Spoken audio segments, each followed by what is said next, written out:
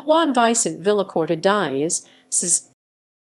Juan Vicente Villacorta Díaz January 22, 1764, Zacatecoluca, El Salvador November 1, 1828 Guatemala was a Central American politician.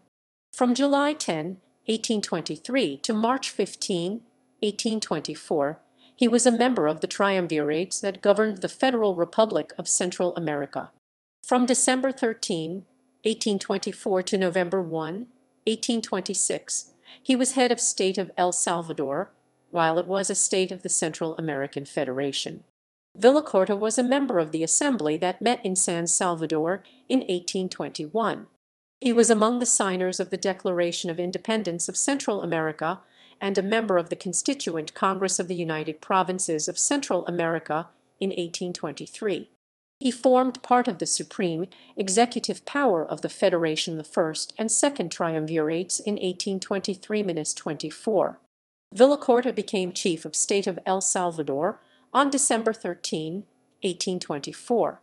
Mariano Prado was vice chief of state. Villacorta sent 500 troops to help federal President General Manuel José Arce suppress a rebellion in Nicaragua. On April 20, 1825 he introduced the papel sellado, the use of seals on official documents such as contracts, judicial decrees, deeds, etc. A tax was charged for the seals. The same month he denounced the writings of the Archbishop of Guatemala Fray Ramón Casaus y Torres, who argued against the recognition of Padre José Matías Delgado as Archbishop of San Salvador. As a result, federal President Arce admonished Casaus, and he suspended his attacks on Delgado.